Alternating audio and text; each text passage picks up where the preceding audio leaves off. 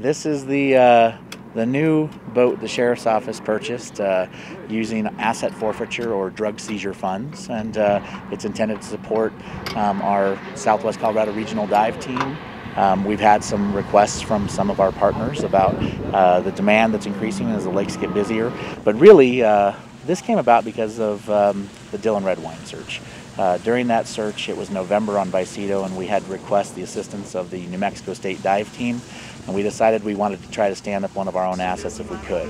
We've got divers from six different agencies in the region that are all recreational divers, and uh, uh, this boat is there to uh, be an all-weather asset to support that kind of a mission. It's called a Coast Guard Defender. This is an 06 model. It's made by Safe Boats International.